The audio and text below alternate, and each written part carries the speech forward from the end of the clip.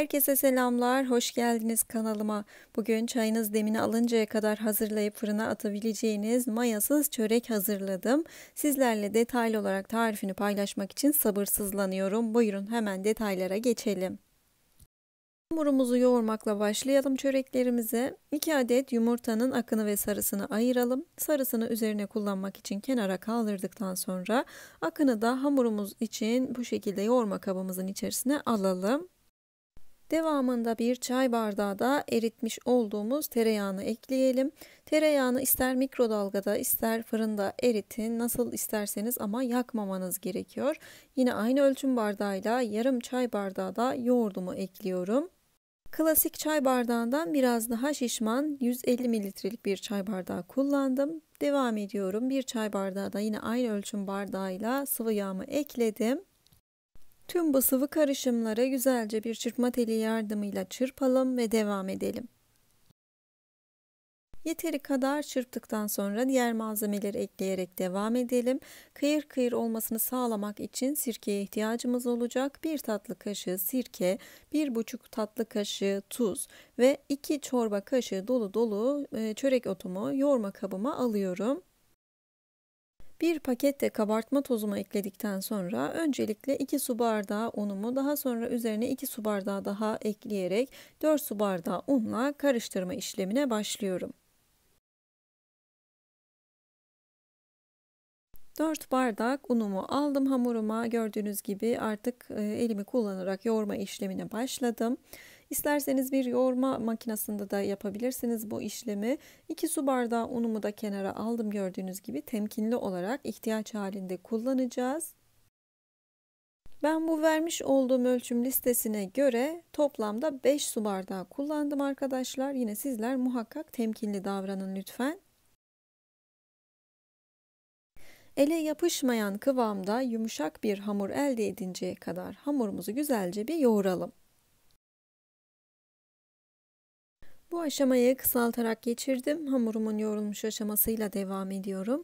Birer portakal büyüklüğünde hamurumuzdan bezeler alalım. Yuvarladıktan sonra tabağımıza dizelim.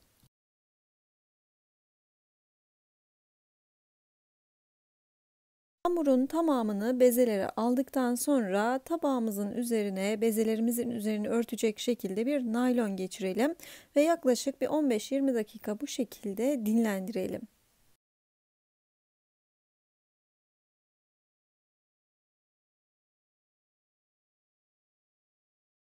Sizleri sıkmamak için bu aşamayı hızlandırılmış olarak geçireceğim hemen.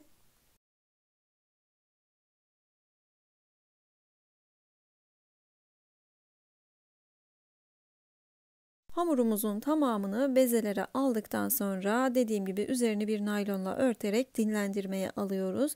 Daha sonrasında dinlenmiş hamurumuzla buyurun tarifimize devam edelim.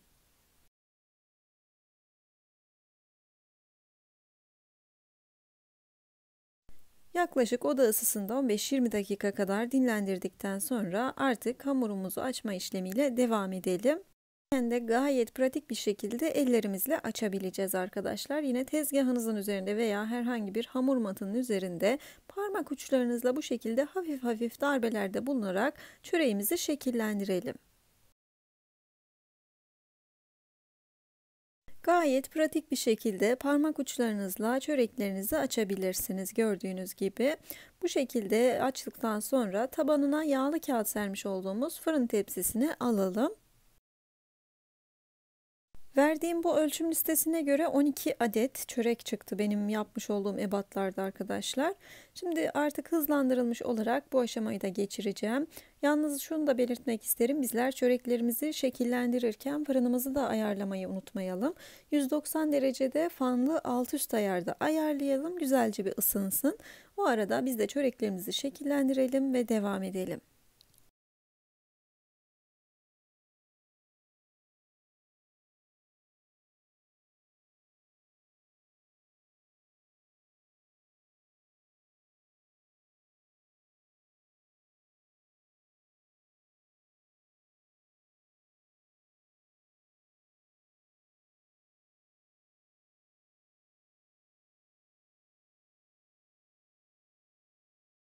Mutfakta yeni olan arkadaşlarım için detaylı olarak elimden geldiğince tüm püf noktalarına değinmeye çalışıyorum. Yine de aklınızda herhangi bir soru kalırsa yorum kısmından yazın muhakkak dönüş sağlayacağım arkadaşlarım.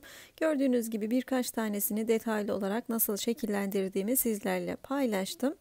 Artık çöreklerimin tamamının açılmış aşamasıyla buyurun devam edelim. Hamurumuzu yoğururken 2 adet yumurtanın sarısını ayırmıştık hatırlarsanız.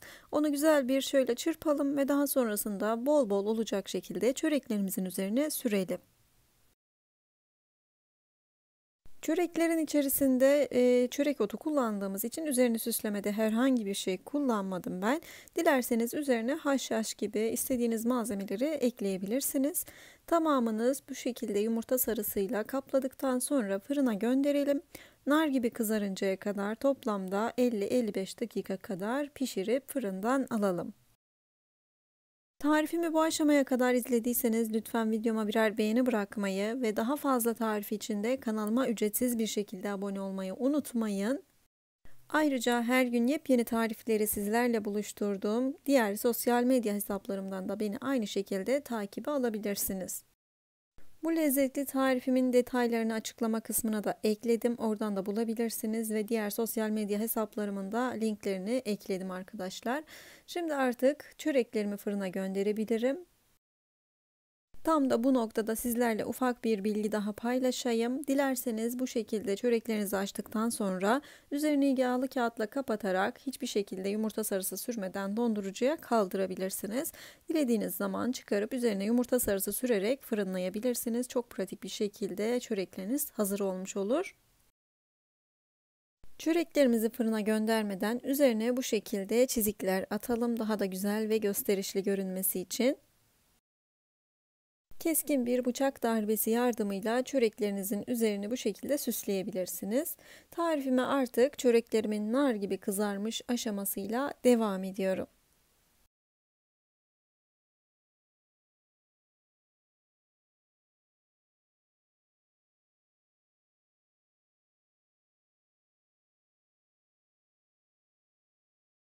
İster çay saatlerinize, ister kahvaltılarınıza eşlik edecek bu muazzam lezzetli tarifimi deneyecek olan herkese afiyet olsun. Nar gibi kızardı ve geldi çöreklerimiz.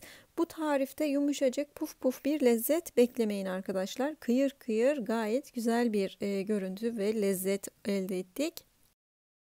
Tıpkı tuzlu minik minik yaptığımız misket kurabiyelerin tadında bir lezzet ortaya çıktı.